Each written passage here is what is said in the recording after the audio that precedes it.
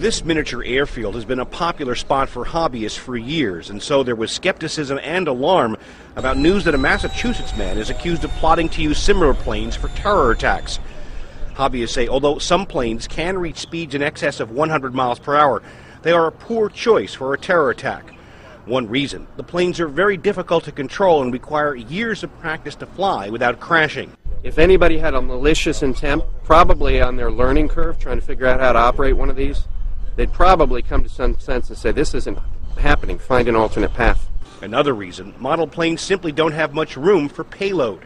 Having a model that's supposed to weigh 19 pounds versus a model that's supposed to weigh 60 pounds or whatever they were claiming that he was going to use, it's just not going to work. I mean, it's, you know, it's it's I just don't see it. Robert Lynch has traveled the world in model aircraft competitions and says model planes need to be carefully balanced to take off and be stable in flight.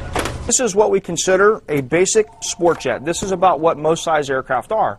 And as you can see, I mean, you have fuel tanks that sit here, you have a fuel tank that sits up here, you have a components board which holds your electronics and so on. There's limited space in this model as it is. I mean, we have to fight for space most of the time to get our stuff that we need to have in there anyways. Hobbyists here say they're proud of their commitment to safety and say they're worried their sport will face an unfair crackdown.